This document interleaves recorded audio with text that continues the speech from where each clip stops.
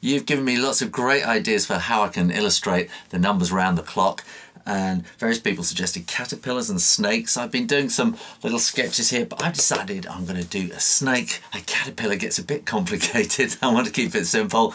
Let's do it. Well, so far you've seen the video where uh, I start with the mannequin holding up the number one, and Diamond Heaven suggested how about a caterpillar for number two? And I tried that and I tried that.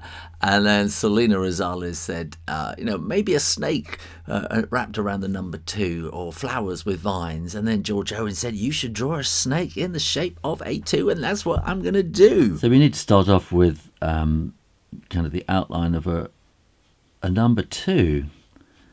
And that will curl around here. And that really wants to come level there. And and then I'm going to make this kind of get a bit thinner here. So let's let's bring that. It needs to be kind of equidistant and kind of correctly thinner if that is a way of saying it. I'm not quite sure. I'm going to put a nice eye in there. I'm going to make it slightly more pointy. And a little face and a forked tongue now snakes are really quite smooth. I think that was a problem I had with the caterpillar was it uh, just got a bit too lumpy um, and it kind of got in the way of the shape of the number.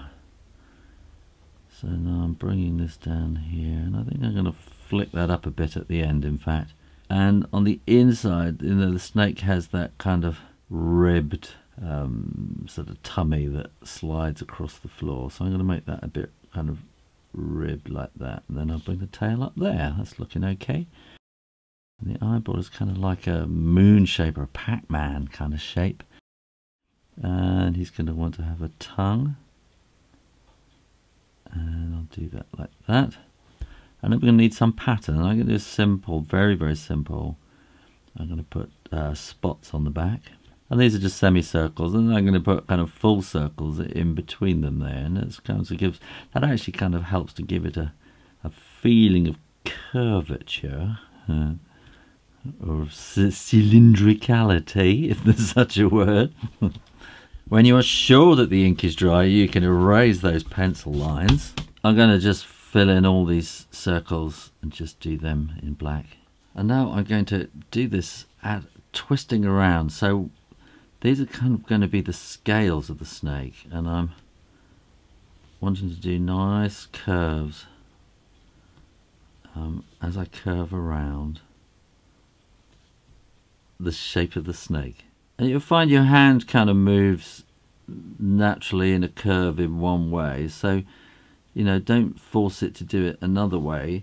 Um, move the paper around.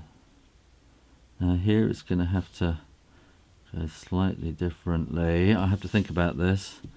Now we have to kind of curve it around the other way. It gets a bit complicated. Mm. And then to get the feeling of the scales, then we're going to cross hatch that with curves going in the other direction.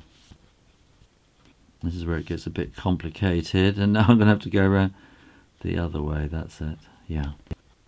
That's looking good. I think we're going to need a little bit of I'm going to put a little bit of kind of shading in just slightly offset to help give it a bit of um, you know kind of roundness like that. And in fact I'm going to do it the other way there so that the curve looks a little bit different on those little marks. And I think this is a bit unsubtle here so I'm just going to make that kind of fade in there a bit more. I'm going to add a little bit around there maybe a bit more to the eyes to bring that out a bit and I think finally I'm going to need a little bit of shadow just like that and there's my number two well, I'm still looking for ideas for number three. Could it be you? Could you have a great idea? Put them in the comments box down below, and I'll see you next time. Well, I hope you enjoyed that. And if you're wondering what this is all about, go and have a look at my first video, how to uh, help me design a clock face. And that will explain it all to you. Or go and have a look at the mystery drawing. Click that logo now to subscribe for lots more drawing videos on YouTube and come and have a look and see what we're doing on my Patreon page. I'm building a whole art school on there. If you're serious about drawing, you want to get serious about learning. in, the, in the meantime, keep drawing, drawing, drawing. Practice, practice, practice. And I'll see you next time. You take care now. Bye bye.